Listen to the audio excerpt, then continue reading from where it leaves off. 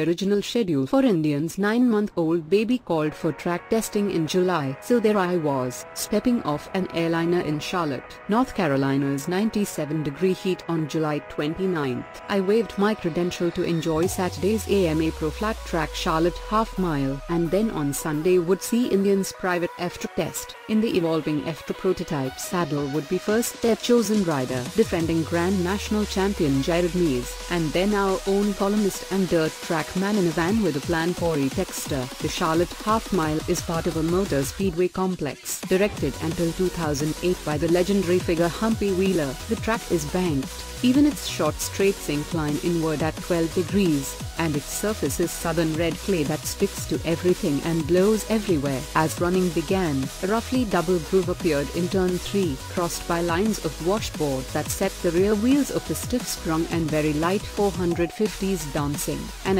occasional rider would try the high entry line, hoping to dive down and come out of turn 4 inside and ahead of rivals.